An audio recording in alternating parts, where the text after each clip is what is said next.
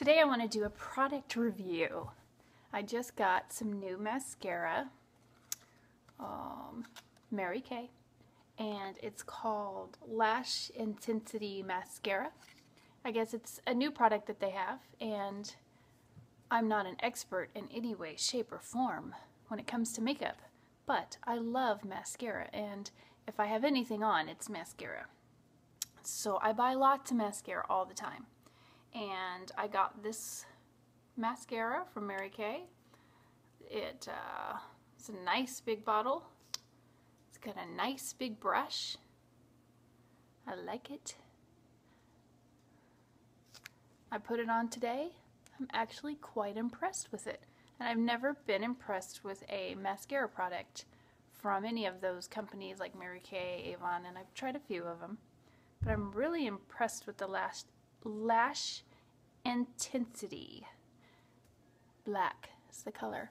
So let's see if you can see close up with my horrible lighting my mascara. Yeah, that's how I put it on. I put it on, you know, go back and forth, get your roots real good, then go up.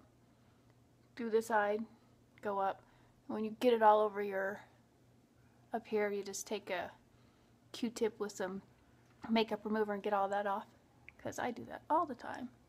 So I'm really impressed with this.